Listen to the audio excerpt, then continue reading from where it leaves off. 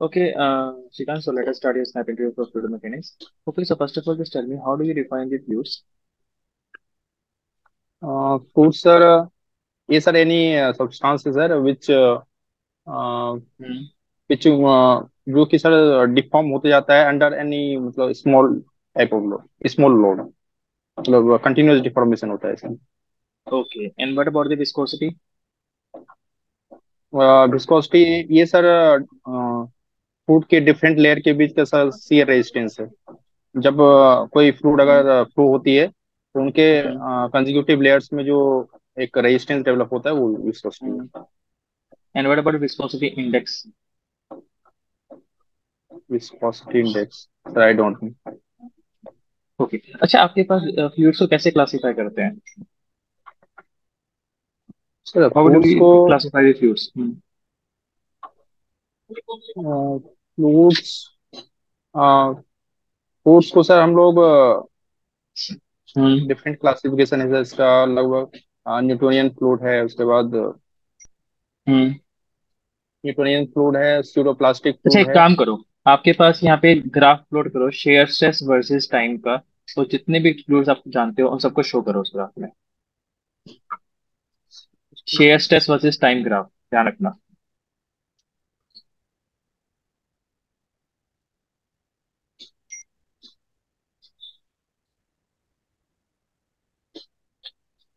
Sir Newtonian pseudoplastic और डायरेक्टेंट में constant हो जाएगा सर ये टाइम पे डिपेंडेंट नहीं रहेगा। दिखाओ जाए और ग्राफ आपके पास। कैमरा में ग्राफ शो करो।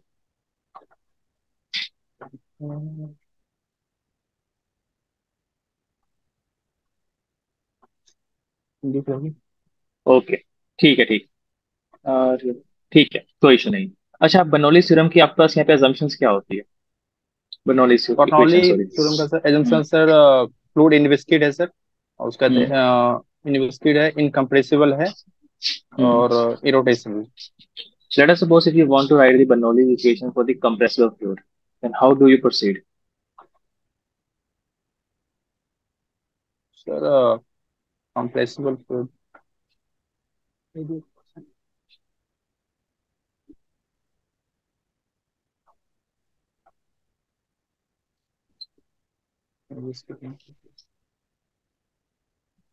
sorry sir मैं अभी ओके ठीक है। अच्छा आपके पास रेनोल्ड सॉरी कंप्रेसिबल और इनकम्प्रेसिबल फ्लूइड में डिफरेंस क्या होता है? कंप्रेसिबल फ्लूइड में सर इनका मतलब अगर इसमें हम सर कंप्रेसिबल इनकम्प्रेसिबल इसका सर डेंसिटी चेंज हो जाता हो जाता है सर अगर हम इसमें हम क्या कहते हैं कोई लोड अगर अप्लाई करें हम्म। कंप्रेसिबल फ्लूइड में तो इसका सर डेंसिटी चेंज हो जाता है। हम्म। जबकि इनकम्प्रेसिबल फ्लूइड में सर डेंसिटी कांस्टेंट रहता है अंडर एनी लोड एप्लीकेशन अच्छा ठीक है कोई इशू नहीं। And what about the uniform and non uniform flow sir uniform flow वो है सर जिसमें कि ये ऑन द बेसिस ऑफ़ कोई एक पार्ट हम्म। कोई एक डेफिनेट स्पेस में सर अगर मतलब मान लीजिए सर हम्म। टेन मीटर का कोई रीजन ले लूँ उसमें हम्म। मैं फ्लूइड का भी फ्लूइड जैसे सपोज़ वेलोसिटी अगर मैं देख रहा हूँ तो del V upon del S वो हमारा सर क्या कहते हैं ज़ीरो आएगा सर मतलब velocity with respect to space जो है सर वो ज़ीरो आएगा। उसी प्रकार सर मतलब डिफरेंट जो भी पैरामीटर है सर जो भी पैरामीटर है वो बेस्ड ऑन द स्पेस वह कांस्टेंट रहेगा। मतलब ज़ीरो आएगा सर वो। चेंज नहीं होगा लेट अस से अगर आपके पास एक कन्वर्जिंग पाइप है ओके कन्वर्जिंग पाइप है and the fluid is flowing with a constant discharge in that case constant what kind of flow discharge what kind of flow will be there and what kind of acceleration will be there? ये sir flow हो जाएगा sir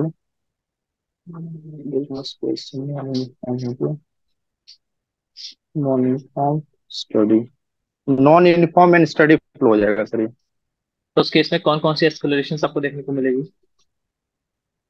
non uniform इनमें sir मुझे लग रहा है sir सिर्फ़ convective acceleration देखने को मिलेगा। कन्वेक्टिव एक्सेलरेशन क्या होती है convective acceleration sir convective acceleration का सर हम्म। V into del V upon del S होता है सर ये इसका एक्सप्रेशन सर और local acceleration del V upon del T क्या रिप्रेजेंट करती है convective acceleration convective acceleration sir sir इसका एक्सप्रेशन अभी ध्यान में आ रहा है नहीं एक्सप्रेशन तो चलो ठीक है रिप्रेजेंट क्या करती है? जैसे अभी आपने बोला कि sir steady and non uniform के केस में कन्वेक्टिव एक्सेलरेशन होगी कन्वर्जिंग पाइप के केस में। ऐसा क्यों बोला आपने फिर? सर इसमें मैंने हम्म। इसमें सर स्टडी फ्लो को मैंने आइडेंटिफाई करने के लिए सर किसी एक सेक्शन पे गए सर। किसी एक सेक्शन पे एक्चुअली सर डिस्चार्ज कांस्टेंट है तो उस पर्टिकुलर सेक्शन पे भी वो ठीक है। उसमें कोई इशू नहीं है। मैं आपसे पूछ रहा हूँ कि आपने किस बेसिस पे बोला कि यहाँ पे लोकल एक्सेलरेशन नहीं होगी कन्वेक्टिव एक्सेलरेशन होगी? That is my question sir actually sir क्या कहते हैं सर लोकल एक्सेलरेशन इसलिए नहीं बोला सर मैंने कि क्योंकि स्टडी फ्लो है सर स्टडी फ्लो है तो sir del V upon del T वहाँ पे ज़ीरो आ जाएगा। तो इसलिए सर मैंने बोला कि लोकल एक्सेलरेशन नहीं होगा। नॉन यूनिफॉर्म फ्लो है सर तो del V upon del X वहाँ पे एग्जिस्ट करेगा। हम्म। इसलिए मैंने बोला सर कि कन्वेक्टिव एक्सेलरेशन ओके अच्छा आपके पास यहाँ पे रेनॉल्ड नंबर का फॉर्मूला ट्राई करो। का फॉर्मूला यस कैसे डिफाइन करोगे number Reynold number inertia force upon viscous force derive करो जरा इसका फॉर्मूला आपने पढ़ा होगा DV rho by mu yes sir DV rho उसको ड्राइव करो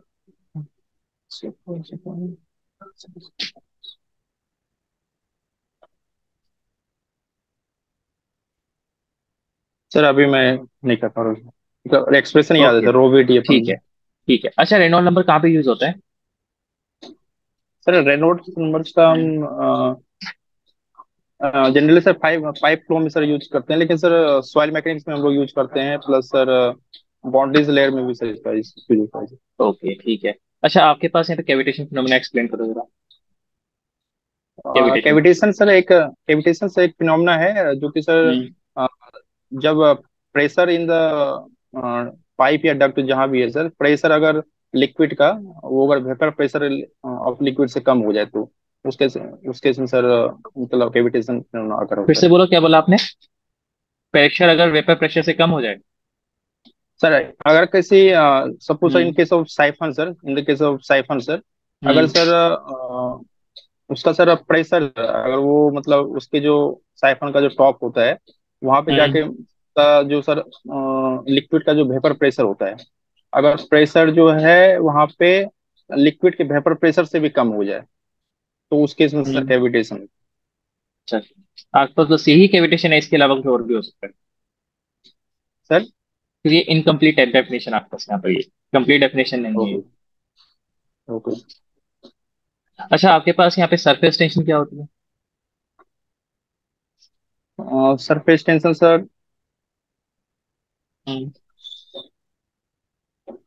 surface tension sir force upon length होता है सर इसका एक्सप्रेशन है मतलब मैथमेटिकल एक्सप्रेशन और मतलब अ, कोई भी कोई भी लिक्विड मॉलिक्यूल है सर तो हम्म। अ, उसके उसके अ, जब वो सर रेस्ट रेस्ट कंडीशन में रहता है तो सर उसके पार्टिकल के बीच में एक फोर्स मतलब एग्जिस्ट करता है सर मतलब उसके टॉप हम्म। सरफेस पे एक पार्टिकल के बीच में मतलब एक फोर्स एग्जिस्ट करता है तो वो फोर्स सर वो फोर्स अपॉन उसका circumferential length let us suppose अगर आपके पास एक सिंपल सा लिक्विड है वाटर है जैसे मेरे पास वाटर को अगर मैं हीट अप करूँगा तो सरफेस टेंशन पे क्या इफ़ेक्ट पड़ेगा? सरफेस टेंशन घटेगा सर घटेगा? आर यू श्योर क्यों? सर उनके बीच में सर जो कोहेजन है सर पार्टिकल में जो हम्म। कोहेजन है या इंटरमोलिकुलर फोर्सेस हम्म है वो सर हम्म। कम हो जाएगा ओके ठीक है कोई इशू नहीं। अच्छा आपके पास यहाँ पे अगर हम बात करें रोटेशनल और इरोटेशनल फ्लो में डिफरेंस क्या होता है? सर रोटेशनल फ्लो वो होता है सर कि जिसमें कि सर है हम्म। पार्टिकल पार्टिकल के मूवमेंट के साथ वो अपने सेंटर के अबाउट मतलब जो भी उसका सेंटर है mass of centre centre of mass उसके अबाउट से भी वो रोटेट करता है। मतलब मूव भी कर रहा है प्लस रोटेट भी कर रहा है। लेकिन इरोटेशनल फ्लो में सर ऐसा नहीं होता है। वो अगर सर मूव कर रहा है सर तो वो मतलब एक वो रोटेट नहीं करेगा सर अपने मास ऑफ़ सेंटर के वो बस मतलब मूव करेगा sir irrotational flow and what about the vortex flow vortex flow sir a vortex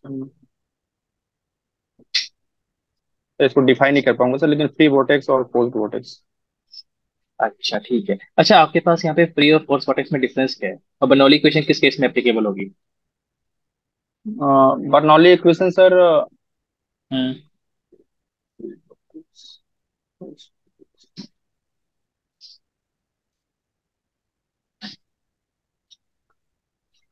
Bernoulli question sir आपका फ्री वॉटेक्स में सर फ्री वर्टेक्स में ऐसा क्यों? फ्री वर्टेक्स में क्यों?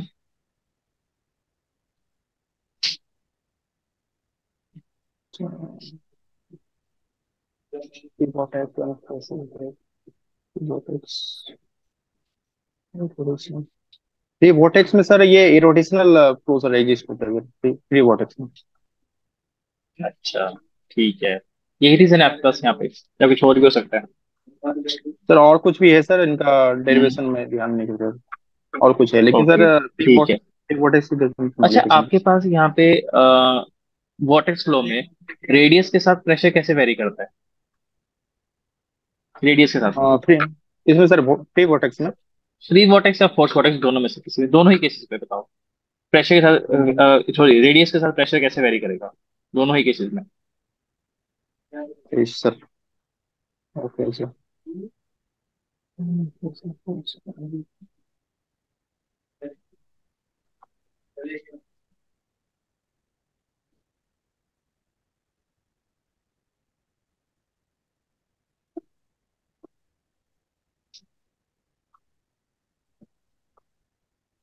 sir velocity के साथ ध्यान आ रहा है उसके साथ प्रेशर हम्म। के साथ रिमाइंड नहीं कर पा रहा हूँ। प्रेशर के साथ रिमाइंड नहीं कर रहा ठीक है। ओके श्रीकांत मी फीडबैक देखो आपके पास सबसे पहले तो बेसिक बेसिक तो चलो आपको पता है ठीक है? कुछ कुछ जगह पे लैग कर रहे हो वो है थोड़ी सी अंडरस्टैंडिंग वाले पार्ट पे ठीक है? वैसे आईओसीएल में ज़्यादा डिटेल में ज़्यादा पूछता नहीं है तो वो ओवरव्यू पता होना चाहिए। उसके लिए भी थोड़ा सा थोड़ी सी कमी है अभी भी आपके पास यहाँ पे। जैसे फ्लो आप जब डिफाइन नहीं कर पा रहे हो सिंपल सा केस था रोटेटिंग मास ऑफ़ फ्लूइड कोई भी फ्लूइड अगर रोटेट कर रहा है तो दैट मीन्स आपके पास यहाँ पे वो क्या वॉर्टेक्स फ्लो है। चाहे वो फोर्स वॉर्टेक्स हो चाहे फोर्सफुली आप उसे रोटेट कराओ या फिर आपके पास वो by means of angular conservation angular momentum की कंजर्वेशन की वजह से फ्लो कर रहा है। ठीक है? रोटेटिंग मास को आप यहाँ पे क्या बोलते हैं? सिंपल सा वॉर्टेक्स फ्लो यहाँ पे करते हैं। ठीक है? अब आपके पास यहाँ पे जो मैंने लास्ट में पूछा प्रेशर कैसे वेरी करते हैं उस केस में आपको डिफरेंशियल इक्वेशन जो आपके पास उसकी होती है उसको ज़रूर गो थ्रू करना कि कैसे वेरी कर रहा है। हम्म। बाकी आपके पास यहाँ पे जो मैंने रेनॉल्ड नंबर डायमेंशनल नंबर जब मैंने आपको पूछे थे ना थोड़ा सा ध्यान रखना। हर एक डायमेंशनल नंबर की डेरिवेशन देख लेना ठीक है? क्योंकि कभी कभी हम्म आईओसीएल क्या करता है वो आपको बोर्ड पे डायरेक्टली डेरिवेशन करने के लिए आपके पास एक्सप्लेन करने के लिए बोल देते हैं। ठीक है? तो उसके लिए आपको थोड़ा सा ध्यान रखना पड़ेगा। बाकी आपके पास कैविटेशन फिनोमिना बहुत इंपॉर्टेंट फिनोमिना है। उसको ज़रूर पढ़ के जाना छोड़ना मत। और उसी के साथ साथ साइंटिफिकल पंप और आपके पास रेसिप्रोकेटिंग पंप इनको अच्छे से स्टडी करना ठीक है? यहाँ से आपके पास एक छोटा सा माइन्यूट सा कोई भी पीएसयू नोमेरिकल पूछ लेता है कि पंप को किस लोकेशन पे आपको पास लोकेट करना चाहिए टू अवॉइड द कैविटेशन ठीक है इस तरह के क्वेश्चन पूछे जाते हैं। एनपीएसएच क्या होता है इसकी ज़रूरत से स्टडी कर लेना। उसको स्किप मत करना।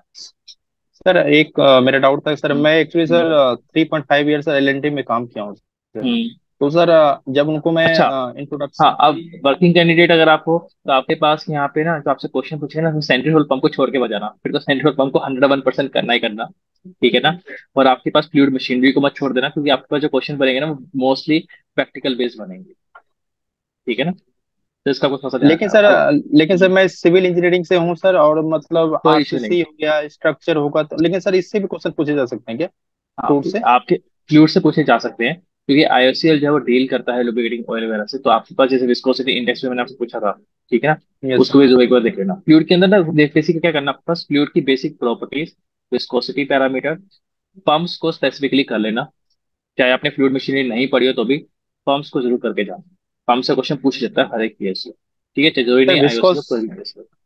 विस्कोसिटी इंडेक्स सर मैं फ़र्स्ट टाइम सुना सर एक्चुअली हाँ ये एक्चुअली में आपके पास यहाँ पे हाँ ये पढ़ाते नहीं है। ये एक्चुअली में आपके इंडस्ट्री में यूज़ होता है पैरामीटर ठीक है ना विस्कोसिटी इंडेक्स ये आपके पास इसके लिए यूज़ करते हो कि विस्कोसिटी जो है टेम्परेचर के साथ वेरी कैसे कर रही है। इस चीज़ को देखने के लिए आप इसे यहाँ पे डिफाइन करते हो। ठीक है ना? अच्छा तो ये विस्कोसिटी टाइम के साथ कैसे हाँ? तो टाइम नहीं चाहिए टेम्परेचर के साथ।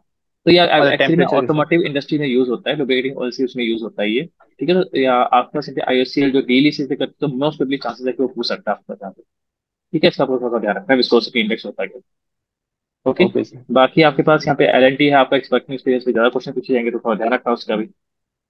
मोस्टली क्वेश्चन वैसे वहीं से फ्रेम होंगे आपके पास यहाँ पे ठीक है? इन केस तो आपके पास सेंट्रिफ्यूगल पंप को ज़रूर कर लेना वो छोड़ना मत ठीक है? और हाइड्रोलिक अगर पार्ट कर सकते हो तो हाइड्रोलिक पार्ट को भी कर लेना पूरा पूरा।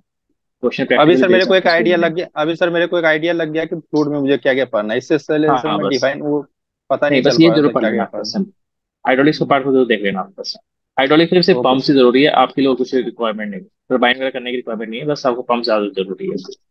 Okay specifically NPS to cavitation. Okay, okay okay, Shikhar, now you can leave the meeting. Thank you